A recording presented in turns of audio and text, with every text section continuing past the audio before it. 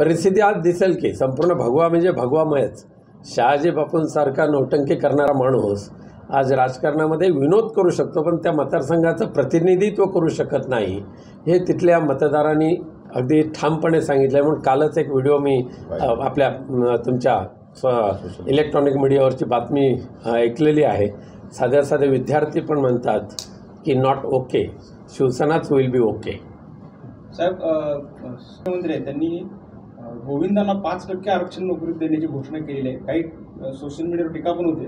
तुम्ही शिवसेना म्हणून कसं बघताय कसं देणार आरक्षण ते तर सांगायला पाहिजे. गोविंदामध्ये एकेका गोविंदामध्ये सहभागी होणारी ज्यांची संख्या ही कमीत कमी दोनशेपासून ते अगदी चार साडेचारशेपर्यंतच्या गोविंदांची संख्या असते. त्याच्यातला जो टॉपर असतो तो साधारण चौदा पंधरा वर्षाचा मुलगा असतो. तर नेमकं आरक्षण देत असताना त्याचं निकर्ष काय? किंबहुना त्या गोविंदाला खेळामध्ये तुम्ही म, समाविष्ट करत असताना खेळाची जी परिभाषा आहे केंद्र सरकारने ठरवलेली त्या परिभाषेमध्ये दहीहंडी बसते का? याचा तरी आधी अभ्यास करण्याची आवश्यकता होती. त्यानंतर आरक्षण देताना त्यांना कोणाचं सर्टिफिकेट तुम्ही ग्राह्य धरणार?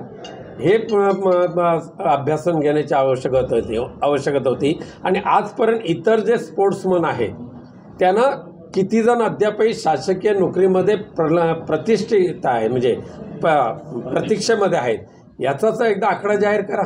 केवळ केवळ सवंग लोकप्रियतेसाठी घोषणा करायची आहे पण प्रत्यक्षात अंमलात काहीच आणायचं नाही. अर्थात त्यांच्याकडून अपेक्षा नाही कारण ते अभ्यासच नाही तिथे तर कळणार कसं?